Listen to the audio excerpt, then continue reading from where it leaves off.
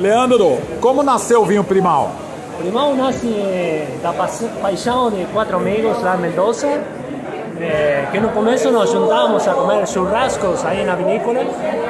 E o dono da vinícola, em um momento, disse para nós: Bom, caras, vamos ter que fazer um vinho, porque senão vocês vão esgotar o vinho da vinícola. Então, assim começamos a pensar no, no Primal. E a tua história com o vinho? Começou quando? De pequeño, de criança, bisavô fazendo uvas, vinícola meu tio. Então, toda a tradição familiar aí, trabalhando nas vinícolas, trabalhando no vinhedo. E estudei agronomia, enologia, então formado aí tecnicamente. Agora, esse vinho vocês fazem nessa bodega, mas as uvas são compradas? Compramos as uvas. Isso nos permite escolher os melhores produtores pequenos e tentamos fazer um, um trato pessoal, confiamos na, na, na, palavra das pessoas, pagamos um preço justo, essa é uma das nossas premissas para fazer vinho.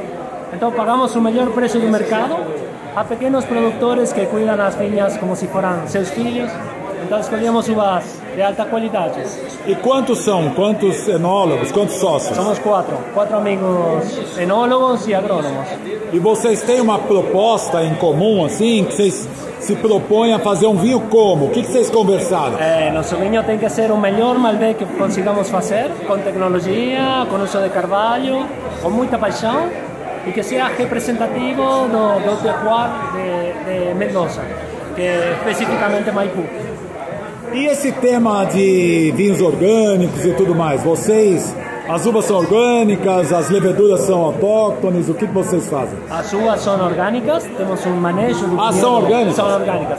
Mas o processo na vinificação não é certificado orgânico. Aí sim usamos insumos como levaduras, clarificantes e outros insumos que não são certificação orgânica.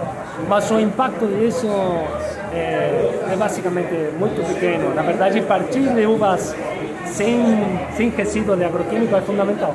Então, nosso vinho tem um perfil de respeito à natureza. E o perfil do vinho na degustação? O que vocês se propõem?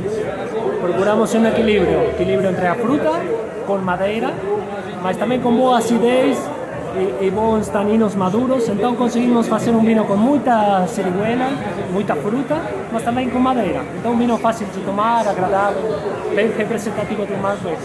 E esse rótulo, o que, que significa esse rótulo?